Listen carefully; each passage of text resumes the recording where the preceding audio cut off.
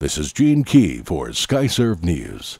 Police say a 10 vehicle wreck on Interstate 35 in Central Texas happened when a truck driver stopped because his oversized load was too big to fit under an overpass. Waco police say one other person was injured in the incident Tuesday morning that tied up northbound traffic for nearly two hours.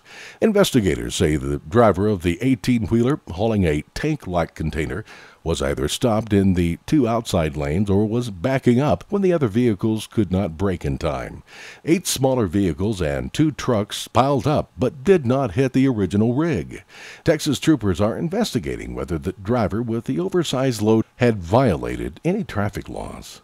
According to KHOU.com in Houston, a 14 year old Baytown girl who went missing on September the 2nd was forced into prostitution by a couple from DeSoto, Texas. Investigators with the Houston Police Department said.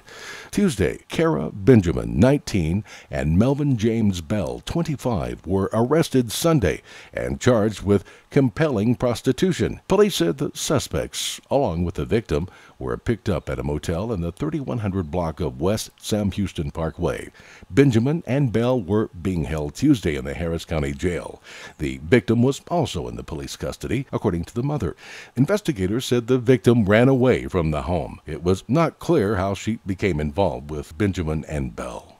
WFAA.com from Dallas report Dallas zoo officials say a chimpanzee escaped from her enclosure on Tuesday morning.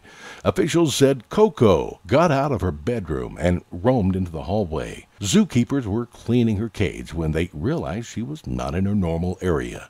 She got out of her bedroom but was still in a confined area. As a precaution, the Wilds of Africa exhibit was evacuated. A code red was issued. That means a dangerous animal is on the loose. The female chimp was discovered and tranquilized.